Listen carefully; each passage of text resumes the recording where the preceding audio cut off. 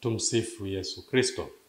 Karibu sana mpendwa mtazamaji wa TBC1 katika kipindi chetu cha tumshukuru Mungu. Tusikilize basi neno la Mungu na tuweze kulitafakari kwa pamoja, tujue ujumbe wetu wa leo. Tusome kutoka katika Injili ya Yohane sura ya ishina, sura ya kumi aya ya ishirini na mbili hadi aya ya thelathini.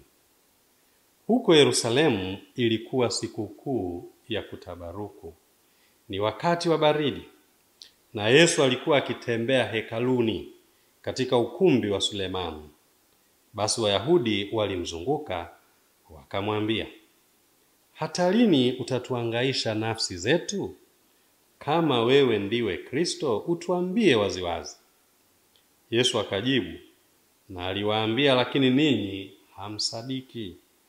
Kazi hizi ninazozifanya kwa jina la Baba yangu ndizo zinazonishuhudia, lakini ninyi hamsadiki, kwa sababu hammo miongoni mwa kondoo wangu.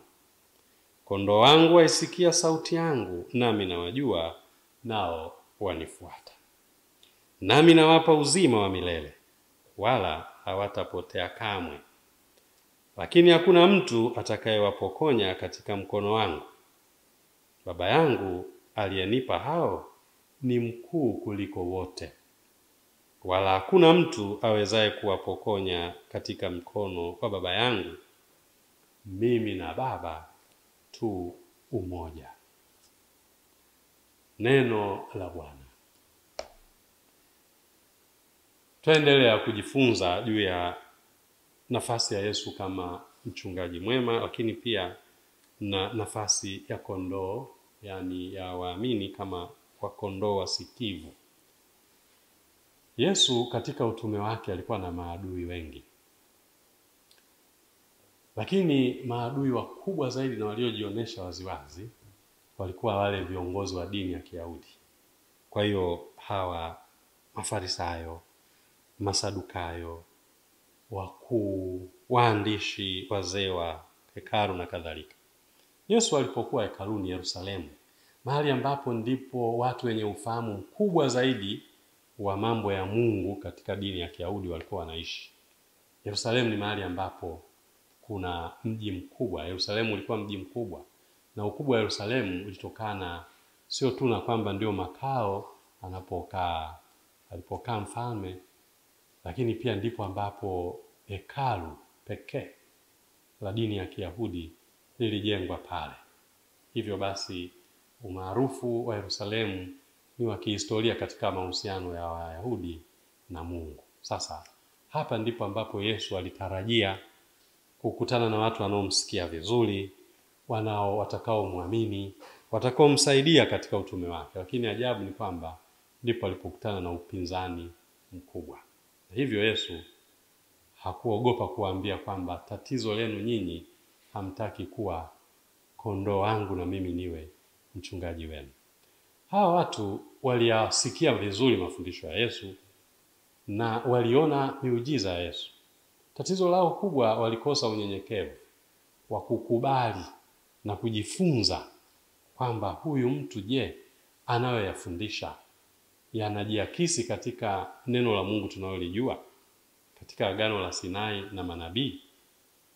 Miujiza anayoifanya je, inaakisi kile tulichojifunza na tunachojijua kuhusu Agano la Sinai na kuhusu mafundisho ya manabii?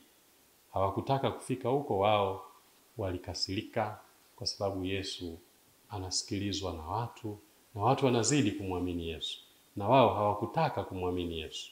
Ndio maana Yesu anasema, shida yenu nyinyi, hamisikii sauti yangu, hamtaki kuwa kondoo.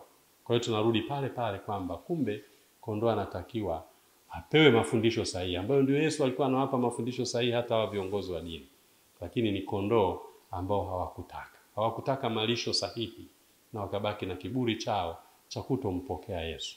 Hivyo wao walimdharau Yesu, sio kwa kweli, sio kwa sababu ya mafundisho yake, kwa sababu ndani ya mioyo yao walijua mafundisho ya Yesu ni sahihi, lakini hawakubali Yesu kutokana na historia yake kwamba anatoka Galilaya, anatoka Nazareti, sio miongoni mwa hao Mafarisayo, Masadukayo, wakuu wa makuhani na kadhalika.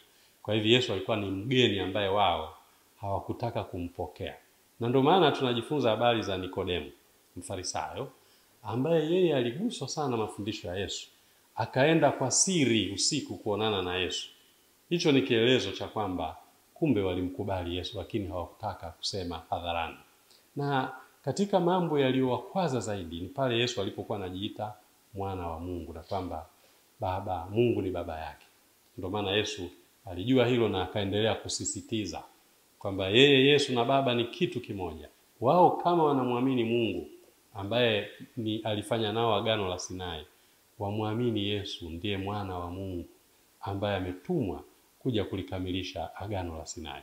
Kwa hivyo tatizo kubwa la hawa Wayahudi viongozi wa kanisa ilikuwa tu ni kuwa wanyenyekevu, waweze kumpokea Yesu, na dhambi yao kubwa ni hiyo, hawakutaka kumpokea Yesu na wakataka kumwangamiza Yesu. Ndugu zangu, sisi wanadamu tukumbuke siku zote kwamba Mungu ana yupo pamoja nasi daima, na yupo kwa namna anayoitaka yeye.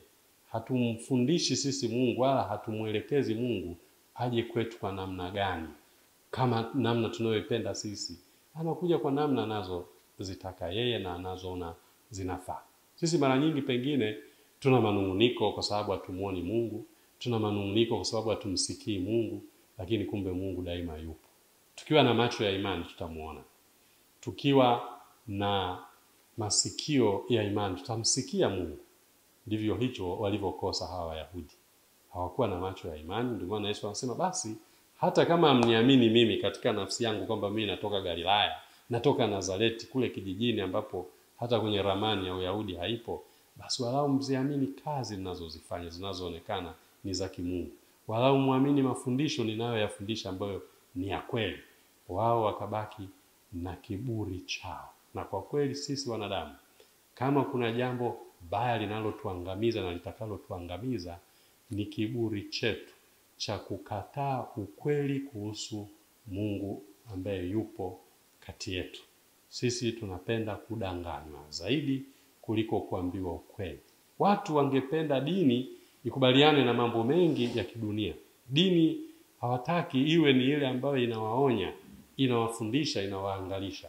Watu tungependa dini iwe ile inayokubaliana na mambo tunayotaka sisi, na ndio maana mambo mengi leo yanapofanyika, watu wana, wangependa wasikie kwamba kanisa linayakubali, kwamba kanisa linayaunga mkono. Kanisa linapopinga na kukataa, linaonekana kama ni chombo kinachozuia pengine mafanikio ya kibinadamu, kinazuia pengine furaha na maisha ya kawaida ya kibinadamu. Kumbe kanisa linabaki katika uhalisia kwamba lilianzishwa na Mungu na lazima lifundishe mambo ya Mungu, ambayo mambo ya Mungu yanaingia katika nyanja zote za maisha ya mwanadamu.